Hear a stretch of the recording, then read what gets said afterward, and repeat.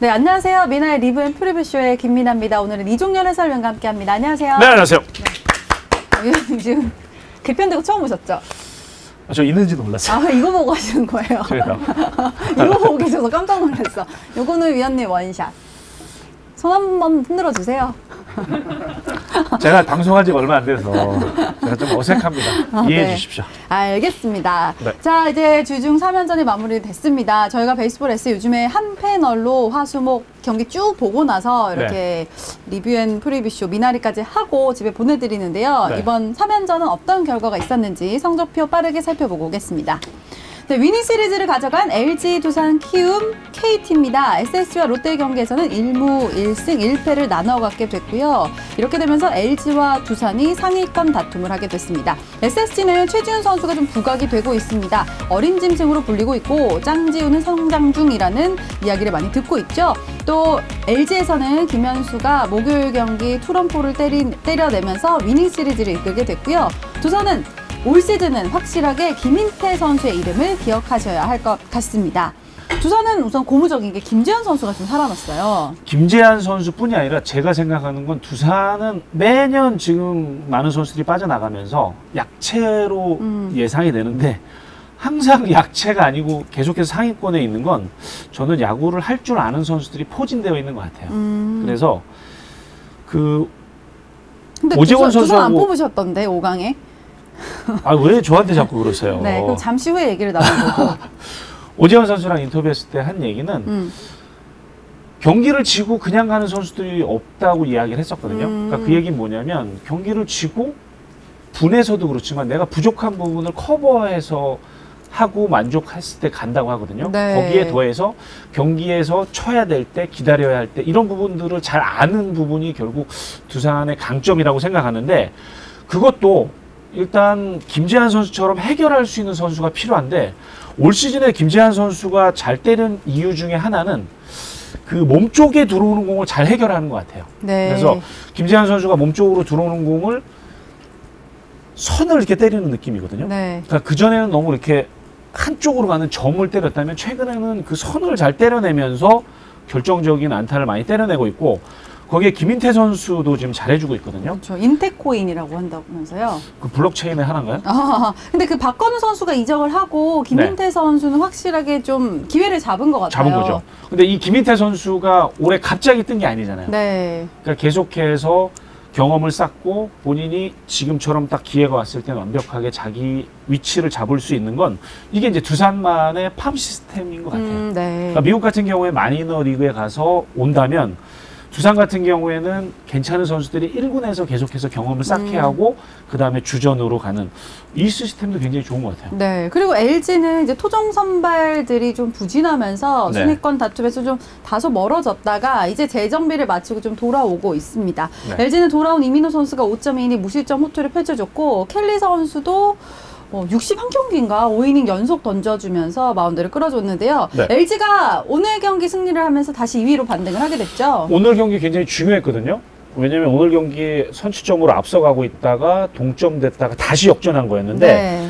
거기 핵심은 역시 김현수 선수예요. 음, 그러니까 김현수 선수가 올 시즌에 초반에 홈런을 많이 때려내고 있는데 김현수 선수 같은 경우에 제가 아까도 말씀드렸는데 거의 작정한 것 같아요. 음. 그러니까 김현수 선수라든가 팀의 4번 타자 중심 선수들은 몸쪽 계통이 많은데 그 몸쪽을 때려서 홈런을 때려내는 걸 작정한 것 같아요. 음. 그래서 아까 제가 본 건 몸쪽에 high fastball인데 그걸 약간 골반을 열고 배트가 나올 수 있는 공간을 확보해서 때리는 이 기술까지 좋아지면서 김현수 선수가 홈런 랭킹에 이렇게 초반에 가는 건 음, 드문 오 경우 같아요. 네. 원래는 홈런 4개 때리면서 1위도 가고 그랬었거든요. 그래서 김현수 선수가 결정적일 때 이렇게 홈런을 때려내는 건 김현수 선수뿐이 아니라 팀 상승세에도 결정적인 역할을 한다고 봐야죠. 네, 뭐 홍창기 선수도 3번 타자로 나서서도 잘해줬고 문선재 선수도 잘해주고 사실 LG가 이제 좀 밑으로 떨어지지만 않는다면 저력이 있기 때문에 이 순위를 네. 좀 유지할 수 있을 것으로 보이고요. 반면 삼성과 만났고 삼성은 4연속 루징 시리즈를 기록하게 됐습니다. 오늘 기사 보니까 김상수 선수도 또 다치게 됐고 아 참 무득점 경기가 참 많은 삼성인데 수요일 경기 무득점이었고요. 올 시즌 다섯 번의 무득점 경기로 무득점 최다 1위가 됐습니다. 이렇게 무득점 경기로 끝나면 팬들도 좀 다소 시큰둥해지는 그런 부분도 있는데요. 네. 조금 문제가 될 것 같아요. 왜 그런 것 같으세요? 어... 당황스럽죠. 네. 지금 보면 2020 그러니까 2021년 단 7경기밖에 없었고 음. 2020년도 전체 11경기였는데 네. 벌써 5경기면 진짜 많은 거거든요. 그러니까 제가 본 핵심은 일단 리드오프가 출루율이 확 떨어져요. 음. 그러니까 원래 허삼영 감독이 올 시즌에 출발할 때 이야기한 건 김상수 선수가 키다. 음. 그리고 김상수 선수 무조건 1번이다.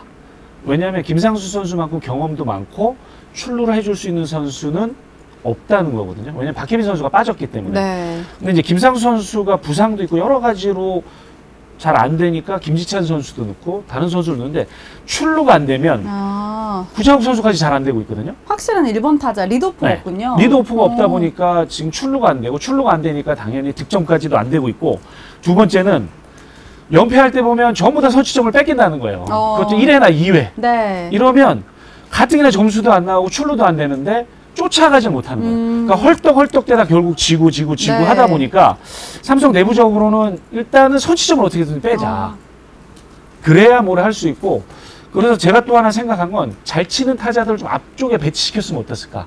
음. 예를 들자면 구자욱 앞에 놓고 네. 그 다음에 김지찬 선수 2번 놓고 뭐 피렐라, 오재일, 강민호 뭐 이런 식으로 음. 김동엽 선수도 그렇고 1, 2번을 김상수 선수나 김지찬 선수 또 다른 선수 이렇게 하다 보니까 더 공격의 루트 물꼬가 안 트이는 것 음. 같은 느낌이거든요. 네. 그래서 그런 선수를 넣으면 어떨까? 네. 이건 정말 저희 개인적인 아, 생각입니다. 네. 근데 좋은 의견인 것 같고요. 근데 거기서 사실 피렐라가 작년만큼 이 분위기를 좀 끌어가야 되는 것도 있는데 네. 그런 것도 좀 약한 것 같기도 하죠. 근데 저는 이제 그거에 동의 반 동의하지 않고 반이라고 생각을 하거든요. 네. 왜냐하면 일단 출루를 해야 이 피렐라 음. 선수가 뭔가 해결을 해야 되고 그게 제일 문제구나. 피렐라 선수 앞에 뭔가 사건이 있어야지 피렐라 선수가 더 돋보이는데 음. 그런 게 좀 절하고 지금 김원건 선수가 부진해서 네. 주장 자리를 놓고 2군에 갔잖아요. 네.